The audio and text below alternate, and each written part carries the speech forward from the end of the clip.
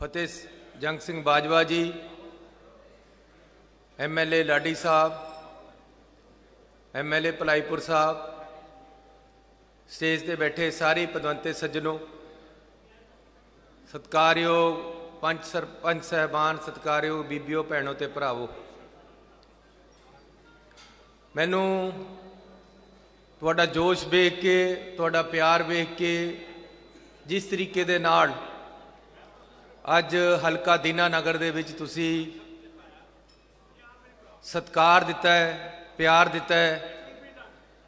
ਉਸ ਲਈ ਮੈਂ ਤੁਹਾਡਾ ਸਾਰਿਆਂ ਦਾ ਬਹੁਤ ਬਹੁਤ ਧੰਨਵਾਦ ਕਰਦਾ। ਹੁਣੇ ਅਸੀਂ ਸ਼ਹਿਰ ਵੀ ਜਾ ਕੇ ਆਏ ਹਾਂ। ਸ਼ਹਿਰ ਦੇ ਲੋਕ ਉਮੜ ਕੇ ਸੜਕਾਂ ਤੇ ਆਏ ਹੈ। ਪਾਰਕ ਦਾ ਉਦਘਾਟਨ ਕੀਤਾ ਹੈ। ਤਹਿਸੀਲ ਕੰਪਲੈਕਸ ਸਬ ਡਿਵੀਜ਼ਨ ਦਾ ਉਦਘਾਟਨ ਬਿਲਡਿੰਗ ਦਾ ਉਦਘਾਟਨ ਕੀਤਾ ਹੈ। ਲੋਕ ਉਮੜ ਕੇ ਅੱਗੇ ਆਏ ਜਿੰਨੇ ਤੁਸੀਂ ਬੈਠੇ ਹੋ 10 ਗੁਣਾ ਲੋਕ ਬਾਹਰ ਬਹੁਤ ਬੜੇ ਗਰਾਊਂਡ ਦੇ ਵਿੱਚ ਖੜੇ ਹੈ। ਸਾਰਿਆਂ ਨੇ ਬਹੁਤ ਪਿਆਰ ਦਿੱਤਾ ਇਸ ਲਈ ਮੈਂ ਤੁਹਾਡਾ ਸਾਰਿਆਂ ਦਾ ਬਹੁਤ ਧੰਨਵਾਦੀ ਹਾਂ। ਇਸ ਤੋਂ ਮੈਨੂੰ ਅੰਦਾਜ਼ਾ ਲੱਗ ਗਿਆ ਕਿਉਂਕਿ ਮੈਂ ਵੀ ਹੁਣ ਬੜੀ ਦੇਰ ਤੋਂ ਇਹਨਾਂ ਕੰਮਾਂ 'ਚ ਚੱਲਿਆ ਆਉਂਦਾ ਮੈਨੂੰ ਹੁਣ ਕੜਾਹਾ ਖਾ ਕੇ ਚੌਲਾਂ ਦਾ ਸਵਾਦ ਨਹੀਂ ਪਤਾ ਲੱਗਦਾ, ਇੱਕ ਤੇ ਹੀ ਪਤਾ ਲੱਗ ਜਾਂਦਾ ਕਿ ਪੱਕ ਗਏ ਆ ਕਿ ਨਹੀਂ ਪੱਕ ਗਏ। ਮੈਂ ਦੇਖ ਲਿਆ ਅਰਨਾ ਚੌਧਰੀ ਜੀ ਦਾ ਜਿੰਨਾ ਤੁਹਾਡੇ ਨਾਲ ਪਿਆਰ ਹੈ। ਉਹ ਅੱਜ ਤੁਹਾਡੇ ਚਿਹਰਿਆਂ ਤੋਂ ਔਰ ਤੁਹਾਡਾ ਜਿਹੜਾ ਮੇਰਾ ਸਵਾਗਤ ਹੋਇਆ, ਉਸ ਤੋਂ ਮੈਂ ਬੁੱਝ ਲਿਆ। ਮੈਂ ਇਸ ਕਰਕੇ ਅਰਨਾ ਚੌਧਰੀ ਜੀ ਨੂੰ ਵਧਾਈ ਦੇਣਾ ਚਾਹੁੰਦਾ ਹਾਂ। ਇਹਨਾਂ ਦਾ ਧੰਨਵਾਦ ਵੀ ਕਰਨਾ ਚਾਹੁੰਦਾ ਕਿ ਇਹਨਾਂ ਨੇ ਆਪਣੇ ਇਲਾਕੇ ਨੂੰ ਬਹੁਤ ਹੀ ਪਿਆਰ ਔਰ ਸਤਿਕਾਰ ਦੇ ਨਾਲ ਰੱਖਿਆ ਹੋਇਆ ਇੱਕ ਬਹੁਤ ਹੀ ਪਿਆਰੀ, ਇਮਾਨਦਾਰ, ਨੇਕ, ਅਗਾਂਹਵਧੂ ਸੋਚ ਵਾਲੀ ਸ਼ਖਸੀਅਤ ਹੈ ਸ਼੍ਰੀਮਤੀ ਅਰਨਾ ਚੌਧਰੀ ਜੀ। ਅਸ਼ੋਕ ਜੀ ਦੀ ਇਹਨਾਂ ਨੂੰ ਨਾਲ ਸਪੋਰਟ ਹੈ, ਪਰਿਵਾਰ ਦੀ ਸਪੋਰਟ ਹੈ ਤੇ ਤੁਹਾਡੇ ਸਾਰਿਆਂ ਦੀ ਸਪੋਰਟ ਹੈ। ਮੈਂ ਤੁਹਾਨੂੰ ਅੱਜ ਦੱਸਣਾ ਚਾਹੁੰਦਾ ਹਾਂ, ਤੁਹਾਨੂੰ ਪਤਾ ਹੈ ਕਿ ਪੰਜਾਬ ਦੇ ਵਿੱਚ ਹੁਣ ਕਾਂਗਰਸ ਵਰਕਰ ਦਾ ਰਾਜ ਆ ਗਿਆ ਹੈ। ਅੱਜ ਵਰਕਰਾਂ ਦਾ ਰਾਜ ਹੈ। ਵਰਕਰਾਂ ਦੀ ਪੁੱਛਗਿੱਛ ਹੋਏਗੀ। ਹੋਣੀ ਸ਼ੁਰੂ ਹੋਈ ਗਈ ਹੈ। ਤਹਿਸੀਲ ਕੰਪਲੈਕਸ, ਥਾਣੇ, ਕਚਹਿਰੀਆਂ, ਡੀਸੀ ਦਫ਼ਤਰ ਦੇ ਵਿੱਚ ਵਰਕਰ ਦੀ ਇੱਜ਼ਤ ਹੋਵੇ ਤਾਂ ਹੀ ਮੇਰੇ ਮੁੱਖ ਮੰਤਰੀ ਬਣਨ ਦਾ ਫਾਇਦਾ, ਨਹੀਂ ਕੋਈ ਫਾਇਦਾ ਨਹੀਂ। ਬਹੁਤ ਸਾਰੇ ਸਰਪੰਚ ਸਹਿਬਾਨ ਸਾਰੇ ਪਿੰਡਾਂ 'ਚੋਂ ਆਏ ਵੇ। ਮੈਂ ਸਰਪੰਚਾਂ ਨੂੰ ਔਰ ਪੰਚਾਂ ਨੂੰ ਇੱਕ ਗੱਲ ਕਹਿਣਾ ਚਾਹੁੰਦਾ ਹਾਂ ਕਿ ਪੰਚਾਂ ਦੇ ਵਿੱਚ ਹੀ ਪਰਮੇਸ਼ਰ ਵਸਦਾ ਹੈ। ਪੰਚਾਇਤ ਜਿਹੜੀ, ਉਹ ਪਿੰਡ ਦੇ ਡਿਵੈਲਪਮੈਂਟ ਵਾਸਤੇ, ਪਿੰਡ ਦੇ ਕੰਮਾਂ ਵਾਸਤੇ, ਆਪਸੀ ਸਦਭਾਵਨਾ ਵਾਸਤੇ ਜ਼ਿੰਮੇਵਾਰ ਹੈ ਔਰ ਉਹਨੇ ਕਰਾਣੇ। ਇਸ ਕਰਕੇ ਪਿੰਡ ਦਾ ਸਰਪੰਚ ਹੀ ਪਿੰਡ ਦਾ ਮੁੱਖ ਮੰਤਰੀ ਹੈ। ਅੱਜ ਮੈਂ ਤੁਹਾਨੂੰ ਇਹ ਦੱਸਣਾ ਚਾਹੁੰਦਾ ਕਿ ਜੋ ਪੰਚਾਇਤ ਨੇ ਫੈਸ ਕਰਦਾ, ਫੈਸਲਾ ਕਰਤਾ ਇਲੈਕਟਿਡ ਪੰਚਾਇਤ ਨੇ, ਉਹੀ ਸਿਰੇ ਤੱਕ ਚੱਲੇਗਾ, ਉਹਦੇ ਵਿੱਚ ਕੋਈ ਕਿੰਤੂ ਪਰੰਤੂ ਕੋਈ ਨਹੀਂ ਹੋਏਗਾ। ਜਿਹੜਾ ਬਲਾਕ ਸੰਮਤੀ ਦਾ ਮੈਂਬਰ ਹੈ, ਜਿਹੜਾ ਜ਼ਿਲ੍ਹਾ ਪਰਿਸ਼ਦ ਦਾ ਮੈਂਬਰ ਹੈ, ਚਾਹੇ ਕਿਸੇ ਪਾਰਟੀ ਦਾ ਜਿਹੜਾ ਮਿਊਨਿਸਪਲ ਕਮੇਟੀ ਦਾ ਪ੍ਰਧਾਨ ਹੈ, ਉਹੀ ਮੁੱਖ ਮੰਤਰੀ ਆਪਣੇ ਏਰੀਏ ਦਾ, ਮੇਰੀਆਂ ਸਾਰੀਆਂ ਪਾਵਰਾਂ ਤੁਹਾਨੂੰ ਹੈ ਮੈਂ ਕੋਈ ਮੁੱਖ ਮੰਤਰੀ ਨਹੀਂ ਹੈ, ਮੁੱਖ ਮੰਤਰੀ ਉਹ ਹੈ ਜਿਹੜੇ ਤੁਸੀਂ ਚੁਣੇ ਹੋਏ ਹੈ, ਜਿਨ੍ਹਾਂ ਨੇ ਤੁਹਾਡਾ ਕੰਮ ਕਰਨਾ, ਜਿਨ੍ਹਾਂ ਤੋਂ ਤੁਸੀਂ ਰੋਜ਼ ਕੰਮ ਲੈਣੇ ਹੈ। ਮੇਰੀਆਂ ਪਾਵਰਾਂ ਸਾਰੀਆਂ ਤੁਹਾਡੇ ਥੱਲੇ ਡੀਸੈਂਟਰਲਾਈਜ਼ ਹੋ ਗਈਆਂ ਸੈਂਟਰਲਾਈਜ਼ ਪਾਵਰ ਨਹੀਂ ਮੈਂ ਕਰਨੀ। ਹਰ ਕੁਝ ਆਪਣੇ ਹੱਥ 'ਚ ਨਹੀਂ ਰੱਖਣਾ। ਪੰਚਾਂ ਨੂੰ ਤੁਸੀਂ ਚੁਣਿਆ, ਸਰਪੰਚਾਂ ਨੂੰ ਤੁਸੀਂ ਚੁਣਿਆ, ਬਲਾਕ ਸੰਮਤੀ ਦੇ ਮੈਂਬਰ ਚੁਣੇ ਆ ਜ਼ਿਲ੍ਹਾ ਪਰਿਸ਼ਦ ਦੇ ਚੇਅਰਮੈਨ ਹੈ ਐਮਐਲਏ ਹੈ। ਮੇਰਾ ਐਮਐਲਏ ਮੇਰੇ ਹਲਕੇ ਦਾ ਮੁੱਖ ਮੰਤਰੀ ਹੈ, ਮੈਂ ਤੁਹਾਨੂੰ ਦੱਸਣਾ ਚਾਹੁੰਦਾ ਅਰਨਾ ਚੌਧਰੀ ਜੀ, ਇਹ ਤਾਂ ਖੈਰ ਪੂਰੇ ਪੰਜਾਬ ਦੇ ਲੀਡਰ ਹੈ, ਮੰਤਰੀ ਵੀ ਹੈ, ਵਿਭਾਗ ਵੀ ਬਹੁਤ ਵੱਡਾ ਹੈ। ਔਰ ਪਹਿਲੇ ਦਿਨੇ ਦੇਖੋ ਕ੍ਰਾਂਤੀ ਆ ਗਈ ਇਹਨਾਂ ਦੇ ਵਿਭਾਗ ਦੇ ਵਿੱਚ, ਜਿਹੜਾ ਇਹਨਾਂ ਨੂੰ ਦਿੱਤਾ। ਬਹੁਤ ਬੜੀ ਸਕੀਮ ਚੱਲਣ ਸ਼ੁਰੂ ਅੱਜ ਅਸੀਂ ਕਰਨ ਲੱਗੇ ਆ ਜਦ ਮੈਂ ਪਿੰਡ ਦੇ ਵਿੱਚ ਰਹਿੰਦਾ ਸੀ, ਮੇਰਾ ਪਿੰਡ ਭਜੌਲੀ ਹੈ ਖਰੜ ਦੇ ਕੋਲ। ਸਾਡੇ ਘਰ ਦੇ ਜਿਹੜੀ ਰਜਿਸਟਰੀ ਹੈ ਮਤਲਬ ਸਾਡੇ ਘਰ ਦੀ ਜਗ੍ਹਾ ਸਾਡੇ ਨਾਮ ਹੀ ਨਹੀਂ ਹੈ। ਇਹ ਮੇਰੇ ਘਰ ਦੀ ਗੱਲ ਨਹੀਂ ਹੈ, ਤੁਹਾਡੇ ਦੀ ਵੀ ਹੈ। ਜਿੰਨੇ ਲਾਲ ਲੈਣ ਦੇ ਅੰਦਰ ਬੰਦੇ ਰਹਿੰਦੇ ਆ, ਸਾਰੀ ਆਪਾਂ ਪਿੰਡਾਂ ਦੇ ਵਿੱਚ ਲਾਲ ਲੈਣ ਦੇ ਅੰਦਰ ਰਹਿੰਦੇ ਬਹੁਤ ਥੋੜੇ ਬੰਦਿਆਂ ਨੇ ਬਾਹਰ ਜਾ ਕੇ ਬਸ ਘਰ ਛੱਡ ਕੇ ਬਾਹਰ ਬਣਾਏ। ਸ਼ਹਿਰਾਂ ਦੇ ਵਿੱਚ ਜਿਹੜੇ ਲਾਲ ਲੈਣ ਦੇ ਅੰਦਰ ਰਹਿੰਦੇ ਆ, ਉਹਨਾਂ ਦੀ ਜਗ੍ਹਾ ਉਹਨਾਂ ਦੇ ਨਾਮ ਨਹੀਂ ਹੈ। ਜਿਹੜੇ ਲੈਂਡਲੈਸ ਬੰਦੇ ਆ, ਉਹਨਾਂ ਨੂੰ ਜੇ ਲੋਨ ਲੈਣਾ, ਕਿਸੇ ਨੇ ਟੈਂਪੂ ਪਾਉਣਾ, ਕਿਸੇ ਨੇ ਸਕੂਟਰ ਪਾਉਣਾ, ਮੁੰਡੇ ਨੇ ਕੋਈ ਨੌਕਰੀ ਕੋਈ ਬਿਜ਼ਨਸ ਕਰਨਾ, ਕੋਈ ਛੋਟਾ ਮੋਟਾ ਕੰਮ ਕਰਨਾ ਬੈਂਕ ਤੋਂ ਪੈਸੇ ਚਾਹੀਦੇ ਆ ਬੈਂਕ ਵਾਲੇ ਕਹਿੰਦੇ, ਜੀ, ਰਜਿਸਟਰੀ ਲੈ ਕੇ ਆਓ। ਤੁਹਾਡੇ ਨਾਮ ਜਾਇਦਾਦ ਕਿਆ ਹੈ? ਜਾਇਦਾਦ ਤਾਂ ਆਪਣਾ ਘਰ ਵੀ ਨਾਮ ਨਹੀਂ ਹੈ। ਸੋ ਅਸੀਂ ਇਹ ਸਕੀਮ ਲੈ ਕੇ ਆਏ ਹੈ ਕਿ ਮੇਰਾ ਘਰ ਮੇਰੇ ਨਾਮ। ਜਿੰਨੇ ਪਿੰਡਾਂ ਦੇ ਵਿੱਚ ਲਾਲ ਲੈਣ ਦੇ ਅੰਦਰ ਘਰ ਹੈ, ਸਾਰੇ ਤੁਹਾਡੇ ਆਪਣੇ ਨਾਮ ਕਰ ਦੇਣੇ ਆ ਉਹਦੀ ਸਕੀਮ ਸ਼ੁਰੂ ਕਰ ਰਹੇ ਅੱਜ ਅਸੀਂ ਇਹੀ ਸਕੀਮ ਅੱਜ ਲਾਂਚ ਕਰ ਰਹੇ ਆ ਜਿਹੜੀ ਕਿ ਅਰਨਾ ਚੌਧਰੀ ਜੀ ਦੇ ਵਿਭਾਗ ਦੀ ਹੈ ਕਿ ਮੇਰਾ ਘਰ ਮੇਰੇ ਨਾਂ ਲਾਲ ਲੈਣ ਦੇ ਅੰਦਰ ਦੇ ਜਿੰਨੇ ਮਕਾਨ ਹੈ, ਉਹਨਾਂ ਨੂੰ ਡਰੋਨ ਦੇ ਨਾਲ ਨਕਸ਼ੇ ਬਣਾ ਕੇ ਜਿੱਥੇ ਜਿੱਥੇ ਤੁਸੀਂ ਕਾਬਜ ਹੋ, ਉਹ ਕਬਜ਼ੇ ਦੇ ਆਧਾਰ ਤੇ ਅਸੀਂ ਤੁਹਾਡੇ ਨਾਮ ਤੇ ਰਜਿਸਟਰੀਆਂ ਕਰਨੀਆਂ ਸ਼ੁਰੂ ਕਰਤੀਆਂ, ਕੋਈ ਪੈਸਾ ਤੁਹਾਡਾ ਨਹੀਂ ਲੱਗਣਾ। ਸਾਰਾ ਸਰਕਾਰ ਵੱਲੋਂ ਤੁਹਾਨੂੰ ਸਨਦਾਂ ਬਣਾ ਕੇ ਅਸੀਂ ਦੇਣੀਆਂ, ਜਿਸ ਤਰ੍ਹਾਂ ਕਿ ਅੱਜ ਅਸੀਂ ਸ਼ੁਰੂਆਤ ਕੀਤੀ ਹੈ, ਦਿੱਤੀਆਂ। ਡਰੋਨ ਘੱਟ ਹੋ ਸਕਦੇ ਹੈ, ਇਸ ਕਰਕੇ ਪੰਚਾਇਤਾਂ ਨੂੰ ਅਸੀਂ ਅਧਿਕਾਰ ਦੇ ਦੇਣੇ ਆ ਕਿ ਤੁਸੀਂ ਜਿਹੜੇ ਆ ਡਰੋਨ ਨਾਲ ਫੋਟੋਆਂ ਬਣਦੀਆਂ, ਵਿਆਹਾਂ ਸ਼ਾਦੀਆਂ 'ਚ ਲੋਕ ਜਾਂਦੇ ਆ ਲੈ ਕੇ, ਉਹਨੂੰ ਇੰਗੇਜ ਕਰਕੇ 2-4 ਹਜ਼ਾਰ ਰੁਪਏ 'ਚ ਆਪਣੇ ਪਿੰਡ ਦੀਆਂ ਫੋਟੋਆਂ ਤਰਵਾ ਕੇ ਡਰੋਨ ਨਾਲ ਫੋਟੋਆਂ ਤਰਾ ਕੇ ਤੁਸੀਂ ਆਪਣੇ ਆਪ ਸਨਦਾ ਤਿਆਰ ਕਰਵਾਓ।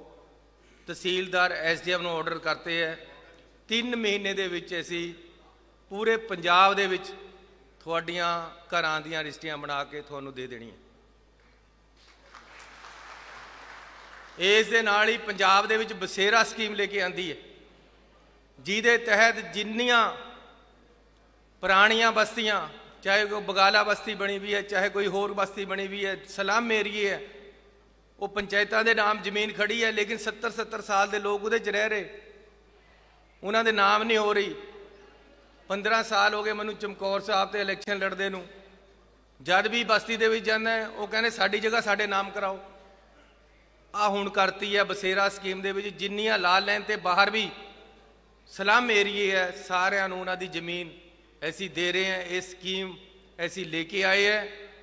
ਦੀਵਾਲੀ ਦੇ ਦਿਨ ਤੱਕ 20 ਦਿਨ ਰਹਿੰਦੇ ਆ ਦੀਵਾਲੀ ਦੇ ਦਿਨ ਤੱਕ ਜਿਹੜੇ ਸਲਮ ਏਰੀਏ ਦੇ ਵਿੱਚ ਲੋਕ ਰਹਿੰਦੇ ਆ ਜਿਹੜੀ ਉਹਨਾਂ ਦੇ ਨਾਮ ਜ਼ਮੀਨ ਨਹੀਂ, ਮੈਂ ਆਪ ਜਾ ਕੇ ਉਹਨਾਂ ਦੇ ਘਰ 'ਚ ਦੀਵਾ ਵਾਲ ਕੇ ਉਹਨਾਂ ਨੂੰ ਸੰਨਤ ਫੜਾ ਦੇਣੀ ਹੈ ਕਿ ਦੀਵਾਲੀ ਵਾਲੇ ਦਿਨ ਕਿ ਆ ਜ਼ਮੀਨ ਤੁਹਾਡੀ ਤੁਹਾਡਾ ਘਰ ਤੁਹਾਡੇ ਨਾਮ ਕਰਦਾ ਮੇਰਾ ਘਰ ਮੇਰੇ ਨਾਮ। ਜੇ ਕੋਈ ਗਰੀਬ 70 ਸਾਲ ਦਾ ਬਸਤੀ ਵਿੱਚ ਬੈਠਾ ਹੈ। ਜ਼ਮੀਨ ਉਹਦੇ ਨਾਮ ਨਹੀਂ, ਜਗ੍ਹਾ ਉਹਦੇ ਨਾਮ ਨਹੀਂ, ਜਦ ਮਰਜ਼ੀ ਠਾਲ ਦੇਵੇ ਪੰਚਾਇਤ, ਉਹ ਸਿਸਟਮ ਖਤਮ ਕਰਤਾ। ਸ਼ਹਿਰਾਂ ਦੇ ਵਿੱਚ ਜਿੰਨੀਆਂ ਸਲਾਮ ਏਰੀਏ ਸਾਰੇ ਉਹਨਾਂ ਦੇ ਨਾਮ ਕਰਾ ਕੇ ਅਸੀਂ ਦੀਵਾਲੀ ਵਾਲੇ ਦਿਨ ਤੱਕ ਤੁਹਾਨੂੰ ਉਹ ਜਗ੍ਹਾ ਦੇ ਦੇਣੀ ਹੈ ਜਿਹੜੇ ਜਿਹੜੇ ਉਸ ਏਰੀਏ 'ਚ ਰਹਿੰਦੇ ਸੋ ਇਸ ਤਰ੍ਹਾਂ ਦੀਆਂ ਹੁਣ ਅਸੀਂ ਬਿਜਲੀ ਦੀ ਸਕੀਮ ਲੈ ਕੇ ਆਏ ਹਾਂ ਪਿੰਡਾਂ ਦੇ ਵਿੱਚ 10-10 20-20 ਹਜ਼ਾਰ 50-50 ਹਜ਼ਾਰ ਦੇ ਬਿੱਲ ਚੱਕੀ ਫਿਰਦੇ ਸੀ ਲੋਕ।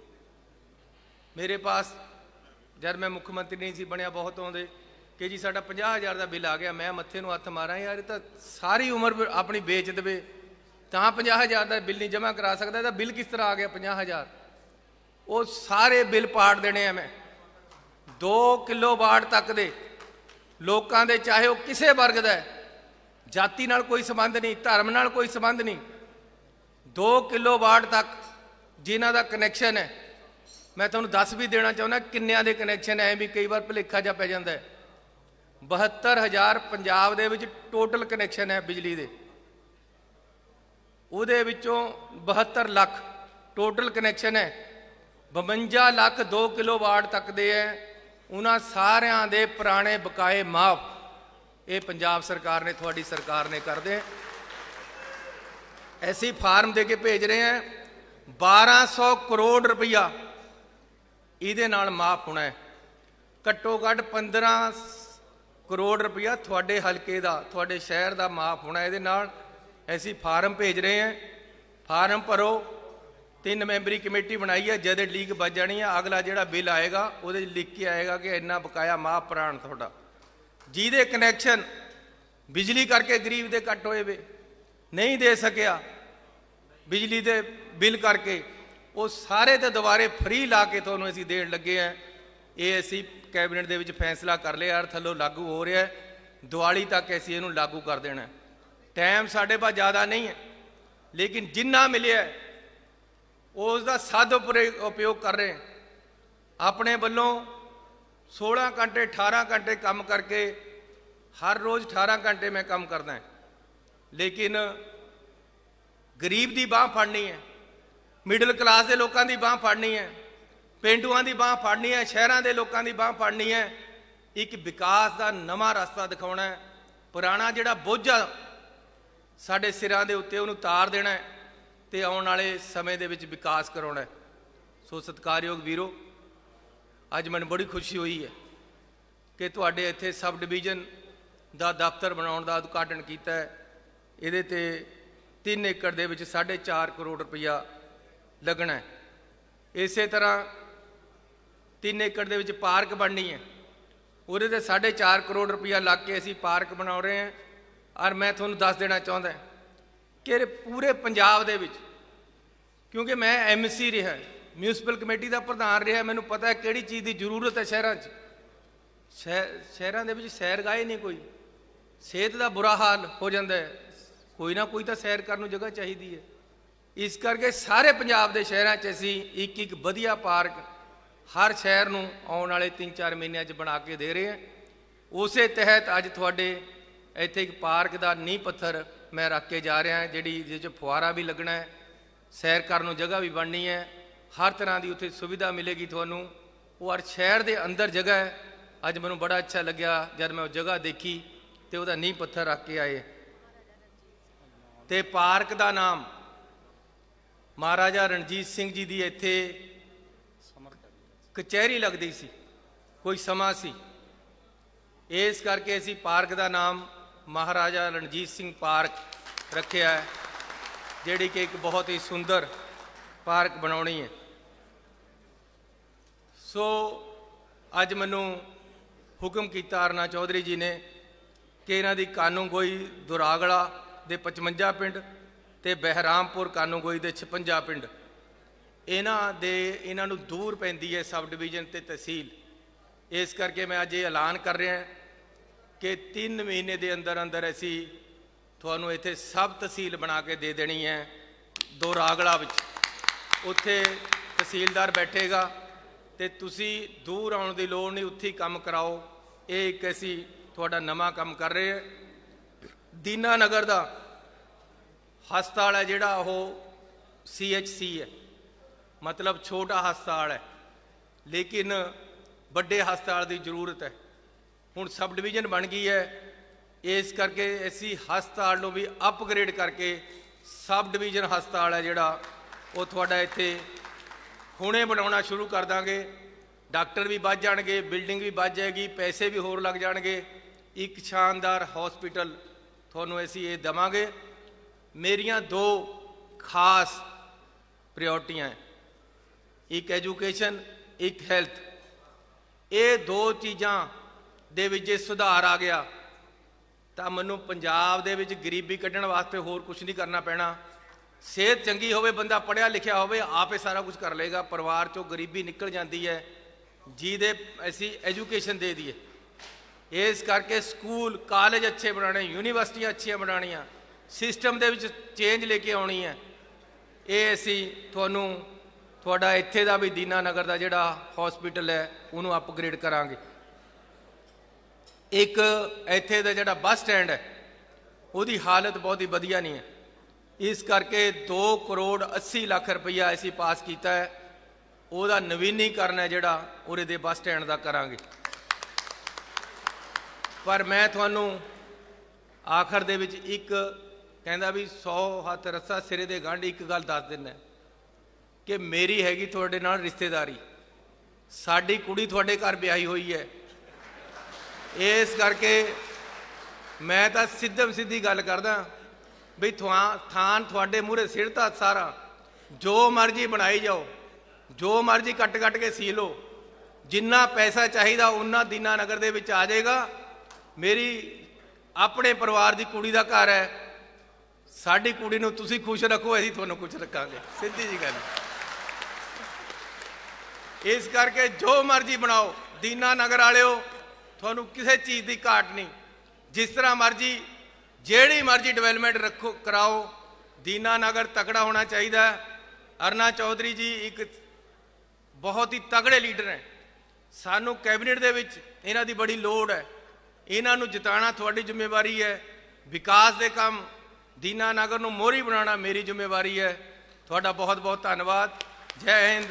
ਵਾਹਿਗੁਰੂ ਜੀ ਕਾ ਖਾਲਸਾ। ਵਾਹਿਗੁਰੂ ਜੀ ਕੀ ਫਤਿਹ।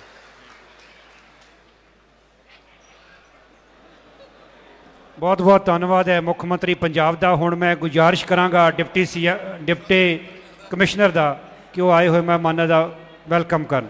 ਸੋ ਮੈਂ ਬਹੁਤ ਹੀ ਧੰਨਵਾਦੀ ਹਾਂ। ਮਾਨਯੋਗ ਸਰ ਮੁੱਖ ਮੰਤਰੀ ਜੀ ਦਾ ਮੁੱਖ